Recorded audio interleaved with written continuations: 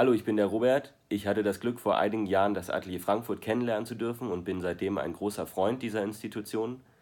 Ich äh, kenne mich in der Frankfurter Kunst- und Kulturszene ein bisschen aus und finde, das Atelier Frankfurt ist ein extrem wichtiger Bestandteil dieser.